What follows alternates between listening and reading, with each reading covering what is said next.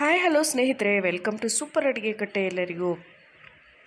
ಇವತ್ತು ರೇಷನ್ ಅಕ್ಕಿಲಿ ಹೇಗೆ ರೋಸ್ಟ್ ದೋಸೆ ಮಾಡ್ಕೋಬೋದು ಅಂತ ಹೇಳ್ಕೊಡ್ತಾ ಇದ್ದೀನಿ. ಈ ಅಕ್ಕಿಲಿ ಕೂಡ ಒಳ್ಳೆ ಗರಿ ಗರಿ ದೋಸೆನೇ ಮಾಡ್ಕೋಬೋದು.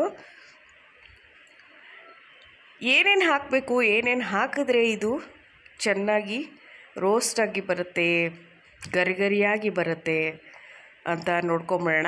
ತುಂಬ ಸಿಂಪಲ್ ಇಂಗ್ರೀಡಿಯೆಂಟ್ಸು, ಟೇಸ್ಟ್ ಸಖತ್ತಾಗಿರುತ್ತೆ. ಇದ್ಕೊಳ್ಳೋದು ಒಳ್ಳೆ ಕಾಯಿ ಚಟ್ನಿ.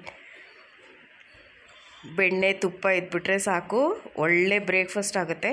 ಸೊ, ಬನ್ನಿ ನೋಡ್ಕೊಂಬೋಣ ಹೇಗೆ ಮಾಡೋದು ಅಂತ. ಅದಕ್ಕೆ ಮುಂಚೆ ಚಾನಲ್ಗೆ ಸಬ್ಸ್ಕ್ರೈಬ್ ಮಾಡ್ಕೊಂಡಿಲ್ಲ ಅಂದರೆ ದಯವಿಟ್ಟು ಸಬ್ಸ್ಕ್ರೈಬ್ ಮಾಡ್ಕೊಳ್ಳಿ, ಬೆಲ್ ಬಟನ್ನ ಸೆಲೆಕ್ಟ್ ಮಾಡಿ. ನಾನಿಲ್ಲಿ ಎರಡು ಕಪ್ ಆಗೋಷ್ಟು ರೇಷನ್ ಅಕ್ಕಿನ ಉಪಯೋಗಿಸ್ತಾ ಇದ್ದೀನಿ. ಇದನ್ನು ಚೆನ್ನಾಗಿ ಕ್ಲೀನ್ ಮಾಡ್ಕೊಳ್ಳಿ. ಚೆನ್ನಾಗಿ ಕ್ಲೀನ್ ಮಾಡಿಬಿಟ್ಟು ಚೆನ್ನಾಗಿ ತೊಳ್ಕೊಳ್ಳಿ. ಸೊ ಇದನ್ನು ಎರಡು ಕಪ್ಪು. ಇದ್ರ ಜೊತೆಗೆ ಅರ್ಧ ಕಪ್ಪು ಉದ್ದಿನ ಕಾಳನ್ನು ಉಪಯೋಗಿಸಿದ್ದೀನಿ ಅದೇ ಕಪ್ ಮೆಷರ್ಮೆಂಟಲ್ಲಿ ಉದ್ದಿನ ಕಾಳು ಅರ್ಧ ಕಪ್ಪು. ಮೆಂತ್ಯ. ಒಂದೆರಡು ಚೀ ಚಮಚದಷ್ಟು ಮೆಂತ್ಯ ಉಪಯೋಗಿಸಿ. ಮತ್ತು ಸಬ್ಬಕ್ಕಿ. ಒಂದು ಎರಡೂವರೆ ಟೀ ಸ್ಪೂನಷ್ಟು ಸಬ್ಬಕ್ಕಿ. ಇಷ್ಟನ್ನು ಚೆನ್ನಾಗಿ ತೊಳ್ಕೊಂಡು ನೀವು ಒಂದು ಆರು ಗಂಟೆ ಕಾಲ ನೆನೆಸಿಟ್ಬಿಡಿ.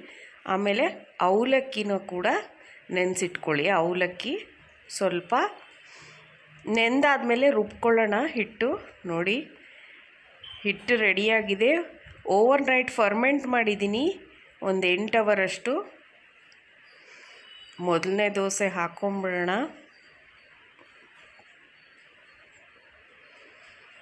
ಸ್ವಲ್ಪ ಎಣ್ಣೆ ಸೋಗಿಸ್ಕೊಳ್ಳಿ ಬೇಕಾದರೆ ತುಪ್ಪನೂ ನೀವು ನೋಡಿ, ಒಳ್ಳೆ ಕಲರ್ ಬಂದಿದೆ ಅಲ್ಲ ದೋಸೆ. ಟೇಸ್ಟು ಕೂಡ ಬಹಳನೇ ಚೆನ್ನಾಗಿದೆ ಸ್ನೇಹಿತರೆ. ಇನ್ನೊಂದು ದೋಸೆ ಮಾಡ್ಕೊಂಬಿಡೋಣ. ಒಳ್ಳೆ ಗರಿ ಗರಿ ರೋಸ್ಟ್ ದೋಸೆ, ರೇಷನ್ ಅಕ್ಕಿಲಿ ಮಾಡಿರೋ ಅಂಥ ದೋಸೆ. ಇದು ಓವರ್ ನೈಟ್ ನೀವು ಮಾಡಿಕೊಂಡು, ರಾತ್ರಿ ಫರ್ಮೆಂಟ್ ಮಾಡಿಕೊಂಡು, ಬೆಳಗ್ಗೆ ಮಾಡ್ಕೋಬೋದು. ಇದ್ರ ಜೊತೆ ಒಂದು ಒಳ್ಳೆ ಕಾಯಿ ಚಟ್ನಿ ಮಾಡ್ಕೊಳ್ಳಿ. ಸ್ವಲ್ಪ ಬೆಣ್ಣೆ ತುಪ್ಪ ಜೊತೆ ತಿನ್ನಿ. ಸಖತ್ತಾಗಿರತ್ತೆ. ಥ್ಯಾಂಕ್ ಯು ಫಾರ್ ವಾಚಿಂಗ್ ಸ್ನೇಹಿತರೆ. Bye bye